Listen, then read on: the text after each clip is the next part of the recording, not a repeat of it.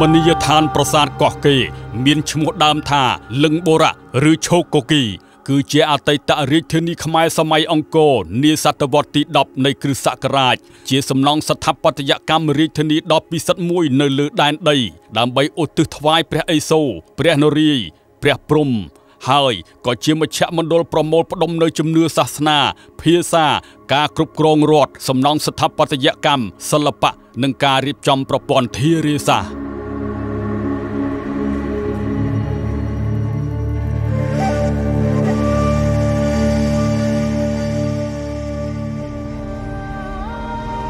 ប្រាសាទប្រាង្គស្ថិតក្នុងបរិវេណប្រាសាទធំ គឺជាប្រាសាទរាជដែលសាងសង់ឡើងជារាងពីរ៉ាមីត មាន7ថ្នាក់កម្ពស់35ម៉ែត្រមានតែមួយគត់នៅក្នុងភូមិភាគអាស៊ីអាគ្នេយ៍ដែលបានសាងសង់អំពីថ្មភក់ធំធំ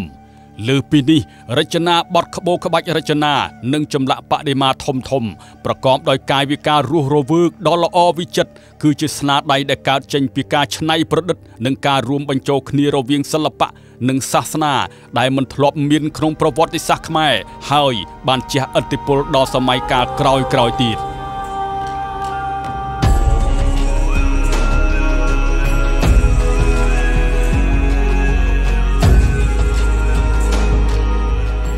ក្រោមការដឹកនាំប្រកបដោយបញ្ញាញាណនិងកតិបណ្ឌិតរបស់សម្ដេចអគ្គមហាសេនាបតីដៃជោហ៊ុនសែនរាជរដ្ឋាភិបាលកម្ពុជាបានស្នើសុំជាផ្លូវការដើម្បីដាក់រមណីយដ្ឋានប្រាសាទកោះកេរក្នុងបញ្ជីបេតិកភណ្ឌពិភពលោករបស់អង្គការ UNESCO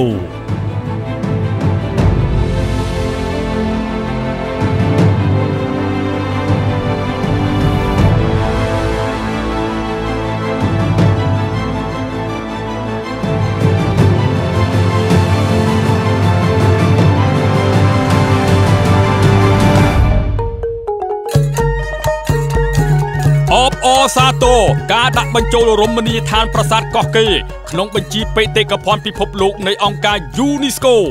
នាថ្ងៃទី17ខែកញ្ញាឆ្នាំ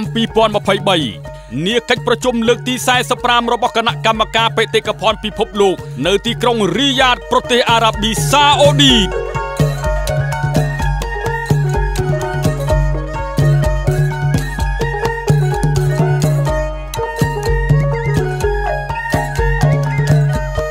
ការពារបេតិកភណ្ឌវប្បធម៌ជាភារកិច្ចរបស់កូនខ្មែរគ្រប់គ្រប់រូប